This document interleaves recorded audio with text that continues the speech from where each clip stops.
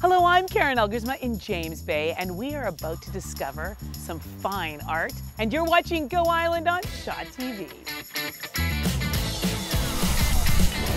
On today's show, a young man with a brain injury is reaching out, and we are racing pigeons and creating a backyard farm. All that and more on Go Island.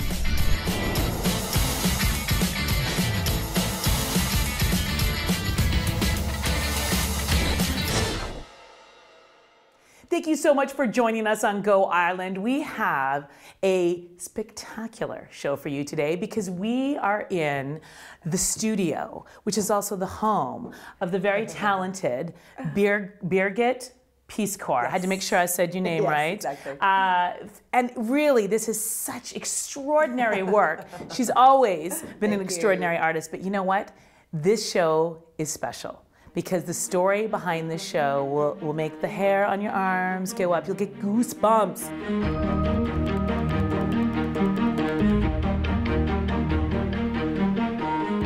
staying at uh, a place called Los Cerritos, which is about an hour up from Cabo. And it's a fairly underdeveloped surfer beach. There's a, there's a surfer staying on the same property that I'm on. His name is Perry Abador. And on the 27th of December, he asked me if I would like to go whale watching. Because the gray whales are all over down there at that time of the year. There's about 20,000 whales that go migrate. And we're, we'd gotten quite far offshore, about a couple miles offshore. And we were just sitting, it was mid afternoon, I guess, and we were just sort of sitting, looking back at the coast um, and, and contemplating going back in. Yeah. And we see these two whales going north. We can see their tails going in and out of the water. So Perry reaches under the waterline and makes a squeaky sound on the edge of the kayak. And sure enough, the whales responded. They turned west. And we thought, like, how cool is that? We're talking to the whales. So And we the thought, first well, whale whale breach is maybe 20, 25 feet from us. And like full body breach, like head to tail, big. straight up out of the water, right? Just as I'm turning around, the second whale breached like right here. And I'm in the front of the kayak, right? so, so I'm so like I'm so thankful that the first whale breached first because I was already in a heightened state, Yeah. you know. And so otherwise I probably would have had a heart attack. I mean, as it was, as it was, this whale started coming out of the water, and I don't really understand what's happening. Like I, I, I think it's a whale because like what else would it be? Yeah, yeah. You know, going up, and I'm thinking, okay, it's a whale, and and I'm not feeling any fear. I'm just confusion, right? And then and then at a certain point, I realize, okay, I'm dead now. Like this is it. Like there's a, there's a whale as big as a bus about to come down on me, and it's not going to hurt. And I have to say, Karen, it was one of the most profound moments of my life because I I completely and utterly surrendered my life. Okay. And there was such an expansive peace and silence in that moment. It was amazing, and I bowed my head, and uh, and and just waited to die, right? And so I and I have this, I have a memory of falling, like starting to go this way, and I guess because the wave had Yeah. come, right? And so Perry, meantime, he's behind me, right? So he keeps his eyes wide open. He gets back as far as he can in the kayak. And the next thing I remember is like this incredible sound as the whale hits the kayak. It landed like right behind me, like between the two of us. It had obviously towards the tail end of its body because it had maybe five feet at the very most, Right. but not the tail itself because of course that's wider. Yeah. So sound and then pressure as we're being driven under the water. And then I open my eyes and I realize like I'm alive, right? And the body is so amazing because it took a big breath before it went in the water, right? Yeah. It knew. And so I'm swimming up through all this swirling water. And it's because I kind of symbolically died when I surrendered my life so Mm-hmm. utterly. And I was symbolically reborn as I swam up through the ocean. Okay. You know, swimming up through the wind, Right. basically. And that moment, that moment in between those two things, um, that moment comes up a lot in my work. Wow. Yeah, so Well, we, I'm, I'm, ex- I'm exhausted.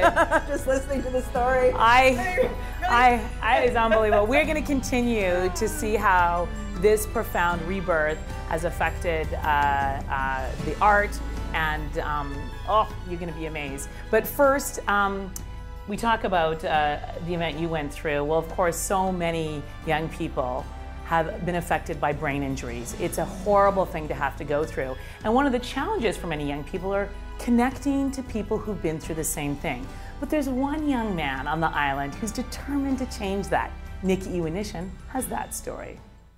This piece really was one of the pieces that um, came out of that incredible spiritual rebirth and, and awakening. Yes. Tell us about this piece. That moment between life and death, that Yes. comes up a lot. So the other thing that comes up a lot is spirals, the spiral form, okay? And so the spiral is significant because it's kind of the, uh, the channel through which we're born and the channel through which we leave.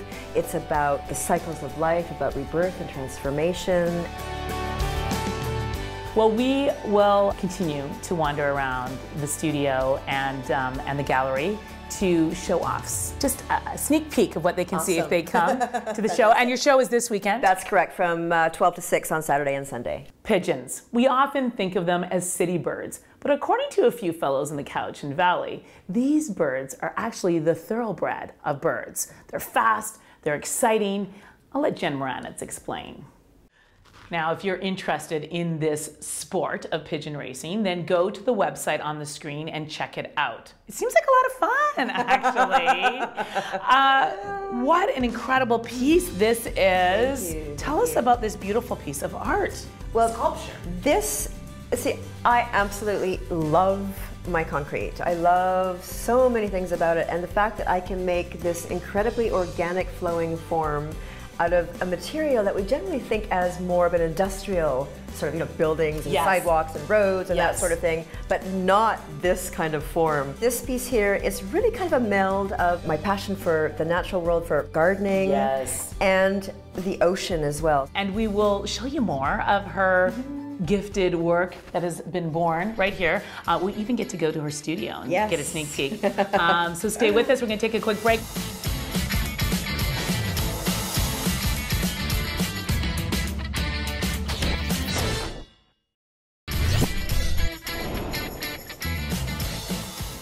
Welcome back to Go Island. We have such a great show going on.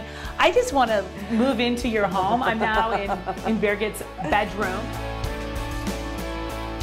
It's a sort of medium um, cadmium red with magenta overlay. I Oh. don't know if you can see that property, but yeah, It it just is- really is like, wow. It is. well, next we're going to head to the studio to see how this is actually created. But first, most of us are starting to think shop local, buy fresh farm food. But are we doing enough? Rianne LaPlante looks at how we can be even more sustainable. It is so fun to watch you work.